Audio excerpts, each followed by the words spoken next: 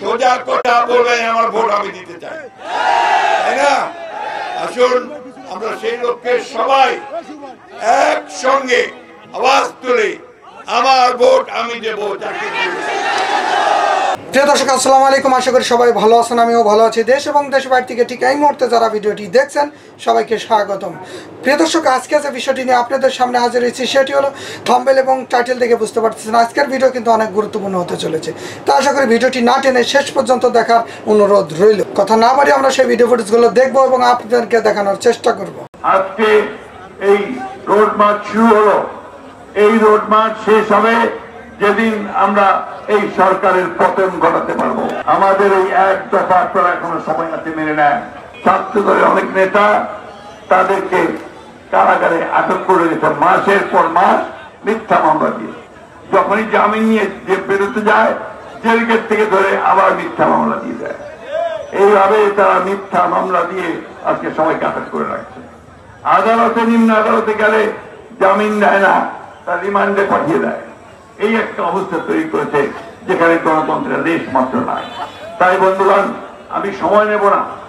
আজকে এই road March শুরু হলো। এই রোড মার্চ শেষ হবে যেদিন আমরা এই সরকারের পতন ঘটাতে পারব। আমাদের দাবি খুব পরিষ্কার। আপনারা এখনই পদত্যাগ করেন শেখ হাসিনা। আপনাকে এই দেশের মানুষ আর দেখতে চায় না ক্ষমতা সংসদ বিলুপ্ত করেন।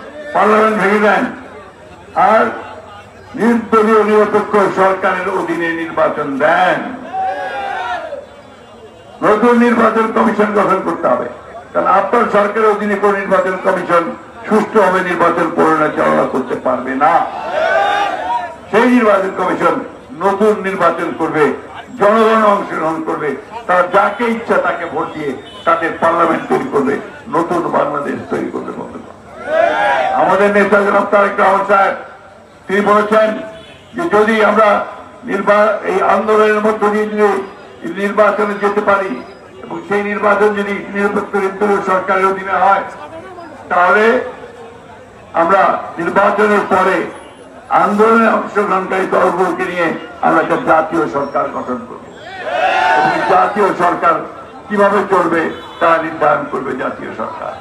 এবং একটি দফা কর্মসূচি দেওয়া হয়েছে, যেখানে আমার যুবক ভাইদের কর্মসংস্থানের ব্যবস্থা করা হয়েছে, যেখানে আমাদের জুডিশিয়াল সিস্টেমকে নতুন করে সাজানোর কথা বলা হয়েছে, যেখানে কৃষকদের উন্নয়নের কথা বলা হয়েছে, যেখানে নতুন একটা রাষ্ট্র ব্যবস্থা তৈরির কথা বলা হয়েছে। বন্ধুগণ, আজকে আমরা খুব পরিষ্কার করে বলতে চাই, আমাদের এই এক দফা আপনারা এখনও সময় আছে মেনে নেন। যদি এক দফা মেনে নেন শান্তিপূর্ণ ভাবে অথবা আপনারা যদি এই পদত্যাগ না করেন, তাহলে জনগণ তৈরি হয়ে গেছে। জনগণের প্রত্যেকটা সভায় দেখছেন লক্ষ লক্ষ মানুষ সেখানে জমায়েত হচ্ছে। এই লক্ষ লক্ষ মানুষের যে উত্তাল তরঙ্গ সৃষ্টি হবে, সেই তরঙ্গে আপনার সরকার ভেসে যাবে, জনগণের সরকার প্রতিষ্ঠা হবে। তাই আসুন, আজকে আমরা এখানে শপথ নেই যে সরকারের পতন ছাড়া আমরা আর ঘরে ফিরে যাব না। আমরা সেই নিয়ে যাব যে সরকার সম্পূর্ণ ব্যর্থ হয়েছে, দেশ পরিচালনা করতে। চাল, ডাল, তেল, লবণের দাম কমাতে পারে না। জ্বালানি তেলের দাম কমাতে পারে না। বিদ্যুতের দাম কমাতে পারে না। বিদ্যুতের দাম কমাতে পারে না। আমাদের জনগণের নিরাপত্তা দিতে পারে না। স্বাস্থ্য সেবা দিতে পারে না। আমাদের যারা গণতন্ত্রের কথা বলে, তাদেরকে ধরে ধরে জেলে ঢুকিয়ে দেয়, তাই না? আমাদের গণতন্ত্রের মাতা দেশের বেগম খালেদা জিয়া, তাকে মিথ্যা মামলা দিয়ে কারাগারে আটক করে রেখেছে। তিনি এখন হাসপাতালে গুরুতর অসুস্থ। আপনারা সবাই তার জন্য দোয়া করবেন। তাকেও বাইরে চিকিৎসা করতে দিতে চায় না বন্ধুগণ। বন্ধুগণ আজকে এই দেশের মানুষের ভোটের অধিকার সব নিয়ে নিয়েছে, তাই না? চোদ্দ সালে ভোট দিতে পারছিলেন? আঠারো সালে ভোট দিতে পারছিলেন? এরা ভোট দিতে দিবে না, কিন্তু নিজেরা নির্বাচিত নিজেদেরকে ঘোষণা করে দিবে, তাই না? সরকার গঠন করবে। আবারও পায়দারা করতেছে যে সামনে যে নির্বাচন, ওইখানে একতরফা নির্বাচন করে আবারও সব নির্বাচিত হয়ে যাবে। এইবার বাংলাদেশের মানুষটা হতে দেবে? আপনারা হতে দেবেন? আপনাদের ভোট আপনারা দেবেন, যাকে খুশি তাকে দেবেন। তাই না? তাই বন্ধুগণ এই রোড মার্চ হচ্ছে। সেই কারণে সমস্ত মানুষকে জানানোর জন্য আপনার ভোটের অধিকারটা আপনি রক্ষা করেন। সোজা কথা বলবেন আমার ভোট আমি দিতে চাই। তাই না? আসুন। আমরা সেই লোককে সবাই একসঙ্গে আওয়াজ তুলে, আমার ভোট, আমি দেব যাকে এই সরকারের অধীনে হাসিনার অধীনে নির্বাচন হবে?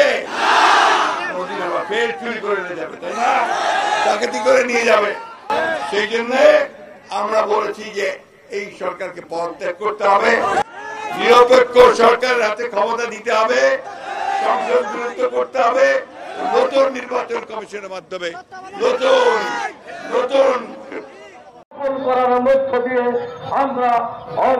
তারুণ্যের রোড মার্চ কর্মসূচির প্রথম দিনে আজ শনিবার রংপুর থেকে দিনাজপুর পর্যন্ত বিএনপি ও এর সহযোগী সংগঠনের উদ্যোগে রোড মার্চ কর্মসূচির আয়োজন করা হয়েছে।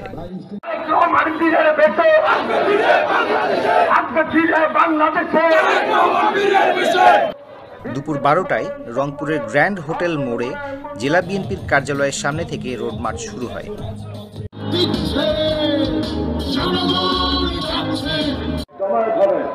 এখানে অবস্থান করবেন। বাইকগুলো এর আগে সকাল আটটা থেকে কুড়িগ্রাম লালমনিরহাট ও গাইবান্ধা সহ আটটি জেলা থেকে নেতাকর্মীরা কার্যালয়ের সামনে জড়ো হতে শুরু করেন। এখানে এখানেই থাকুন সেখানে বীর বিপ্লবী মহাসচিব জননেতা জনাব মির্জা ফখরুল ইসলাম আলমগীর। সারা বাংলাদেশে স্বেচ্ছাসেবককে সংগঠিত করে আজকের স্বেচ্ছাসেবক দলকে সুসংগঠিত করেছেন রোড মার্চ কর্মসূচির উদ্বোধন করে বিএনপির মহাসচিব মির্জা ফখরুল ইসলাম আলমগীর বলেন, এই রোড মার্চ শেষ হবে সরকার পতনের মধ্য দিয়ে। অথচ আমাদের দেশ, এটা প্রতিষ্ঠা হয়েছিল গণতন্ত্রের একটা রাষ্ট্র ব্যবস্থা তৈরি করবার জন্য। তো যে সরকারের আমলে পরপর দুটো নির্বাচন ডাকাতি হয়ে যায়, চুরি হয়ে যায়, জনগণ ভোট দিতে পারে না, সেই সরকারের অধীনে নির্বাচন করা যায় বন্ধুগণ, সেই জন্যই আমরা সিদ্ধান্ত নিয়েছি, শুধু বিএনপি নয়, সারা বাংলাদেশের সকল রাজনৈতিক দল তারা সিদ্ধান্ত নিয়েছেন এই সরকারের অধীনে আর কোনো নির্বাচন নয়। গতকালও বাম জোট অর্থাৎ কমিউনিস্ট পার্টি তারা আমাদের সঙ্গে নাই, কিন্তু তারাও ঘোষণা দিয়েছেন যে এই সরকারের অধীনে তারা কোনো নির্বাচনে যাবেন না। বন্ধুগণ আমাদের দাবি খুব পরিষ্কার যে আপনি নির্বাচন করার চেষ্টা করছেন। সেই নির্বাচনকে বারবার করে বলছেন যে আপনার সরকারের অধীনে নির্বাচন অতীতেও খুব সুস্থ হয়েছে, এবারও সুস্থ হবে। তিনি একটা পরিষ্কার নির্বাচন করতে চান। দুটো নির্বাচনই প্রমাণ করেছে যে আপনার সরকারের অধীনে কোনো নির্বাচন সুস্থ হতে পারে না। সেই জন্যে আমরা খুব পরিষ্কার করে বলেছি যে ওই সব কথা আর আমরা শুনতে চাই না। কর্মসূচি উদ্বোধনের পর বাস, মাইক্রোবাস, পিকআপ ও মোটরসাইকেলের বহর নিয়ে রংপুর থেকে দিনাজপুরের উদ্দেশ্যে রোড মার্চ শুরু হয়। মহাসড়ক ধরে গিয়ে নীলফামারীর সৈয়দপুর উপজেলা হয়ে দিনাজপুরের গোড় এ শহীদ বড় ময়দানে সমাবেশের মধ্য দিয়ে শেষ হবে এই রোড মার্চ আজকে তারুণ্যের রোড মার্চ রংপুর থেকে দিনাজপুর, মাঝে সৈয়দপুর। গাড়িভর ছুটে চলছে উত্তরের জনপদে। প্রতিবাদী স্লোগানে মুখর পুরো যাত্রায় কেন্দ্রীয় ও স্থানীয়দের পাশাপাশি আশপাশের এলাকা থেকে জড়ো হতে থাকেন নেতাকর্মীরা। রংপুর গ্র্যান্ড হোটেল মোড়ে বিএনপির কার্যালয়ের সামনে থেকে শুরু হয় এই রোড মার্চ